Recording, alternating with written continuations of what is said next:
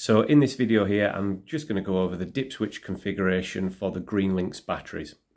So from our warehouse, the master battery is already preset and what determines the master battery is that dip 1 and dip 6 is turned on. This is already done from our warehouse and from the manufacturer. When adding other batteries to a master battery, we simply follow this diagram here for each battery. So your second battery, we would ensure that dip number 2 is on. For your third battery, you would put dip 1 and 2 on. And for your 4th, 5th, 6th, 7th and 8th, you just follow this sequence here. Now we'll make sure that everyone has this document. I will get this across to you. If you have any further questions, just give us a quick call.